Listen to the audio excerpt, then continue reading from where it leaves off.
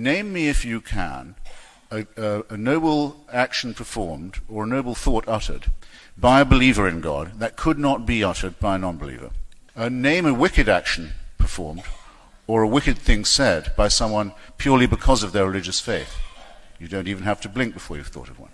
We are part of the natural order. Uh, we're not a specially created species. We have no, no unique privilege. Uh, bleak though it may be, at least it's realistic. It doesn't mean that we have to live without irony. Doesn't mean we have to live without humor. Doesn't mean we have to live without solidarity or any of the other things that make life A, bearable and B, possible. Uh, Rabbi Boteach has been contradicting himself directly all evening. He began by saying that our good qualities, our heroic and noble and gentle and generous qualities are innate in us. He's quite right in saying that. Yes, they are innate in us. That is precisely the point. Religion borrows its morality from us, not we from religion.